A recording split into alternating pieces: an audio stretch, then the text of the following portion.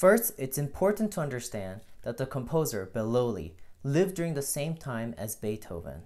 So naturally, his music followed the elegant style of late classical period like Mozart's, as well as more expressive nature of early romanticism like Beethoven. In variation 2, make sure to bring out the syncopated rhythm highlighted by the accents.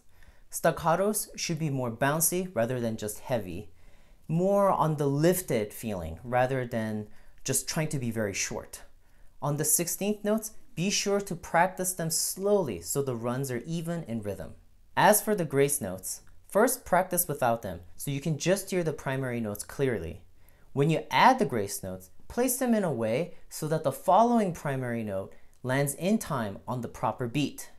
In other words, you might have to shorten the primary note before to squeeze in the grace note quickly enough so that the next primary note falls on time.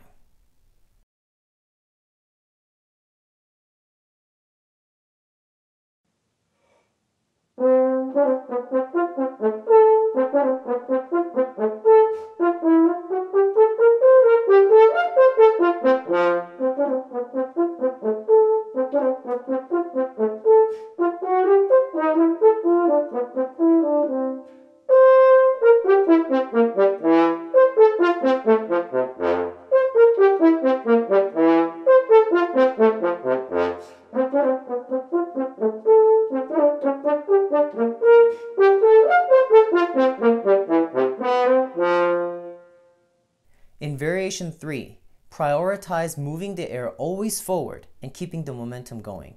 This will especially help you in big intervals. I would first practice the entire variation slurred just to get used to how the air will flow even though we're going to add the tongue later on.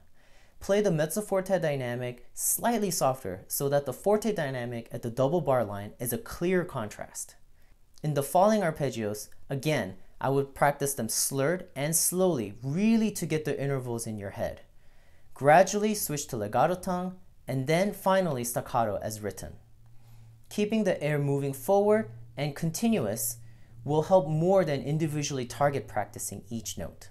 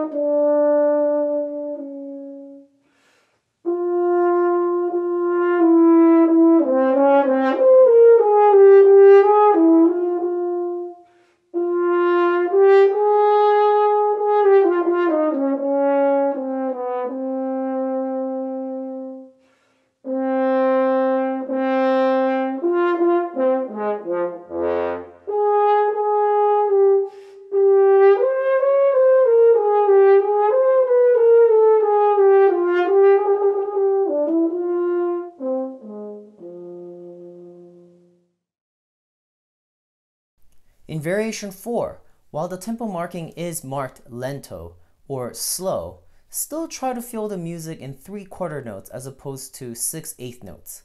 This will keep the music sounding more like an expressive song rather than a trudging dirge. Unlike variations 2 and 3, you can be much more expressive and lyrical in this variation.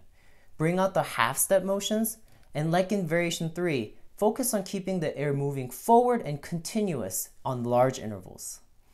The trill at the end should sound fleeting and light.